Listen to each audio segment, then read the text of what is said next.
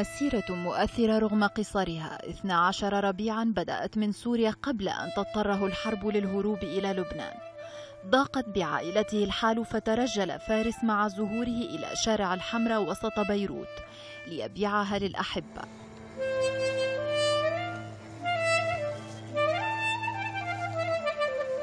هنا كان يتجول وعلى هذه الأرصفة يقضي أوقاته. يشتري الأطفال ألعابا ويبيعه وزهور عمره للمارة أياما تلو أخرى لكسب ما تيسر من قوت.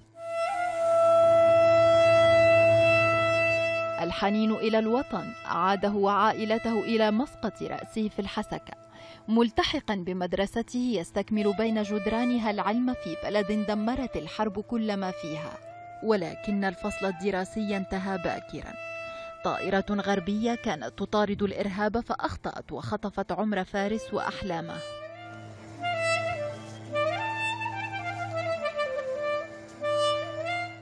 خبر مقتله ألهب مواقع التواصل الاجتماعي فانتشرت صوره بعدسات مختلفة لتراه في إحداها يرسم ابتسامة ساحرة وفي الأخرى حاملا بعض الزهور وفي أخرى تمسك أنامله الصغيرة بباقة.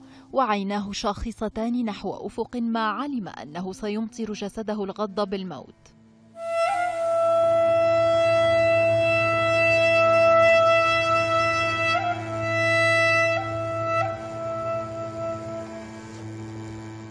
رحل فارس تاركا حزنا وأسى في صدر كل من عرفه أو حتى اشترى منه وردة حزن على روح مرحة وكرم طفولي كان يجعله متساهلا مع زبائنه في دفع ثمن الزهور. خصال لم تتحملها الحرب فحولته من زهرة إلى ذكرى.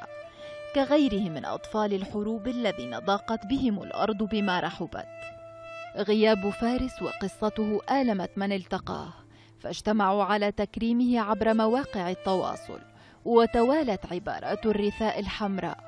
فمنهم من قال تتذكروا فارس فارس بياع الورد اللي الكل بيحبه مين قدر ما يضحك لعيونه الحلوين. فارس مات بعمر الورد اللي كان عم بيبيعه. فارس مات بحرب ما بيفهم فيها أصلا.